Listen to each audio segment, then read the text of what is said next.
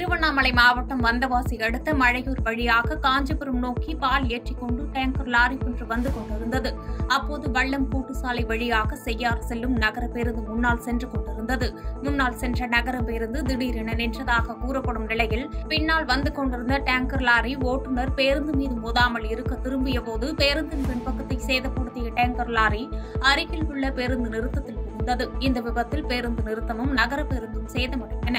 இதனால் பேருந்தில் பயணம் செய்த சிறுமி ஒருவரும் லாரி ஓட்டுநரும் காயமடைந்தனர். இந்த விபத்து குறித்து வடவணக்கம்பாடி போலீசார் விசாரணையில் ஈடுபட்டுள்ளனர். பாதகம் செய்பவரை கண்டால் நாம் பயங்கொள்ளலாகாது பாப்பா. மோதி மிதித்து விடு பாப்பா. அவர் முகத்தில் உமிழ்ந்து விடு பாப்பா. அண்மை செய்திகளை உடனுக்குடன் தெரிந்து கொள்ள இணைந்திருங்கள் இயம்நாடு தொலைக்காட்சியுடன்.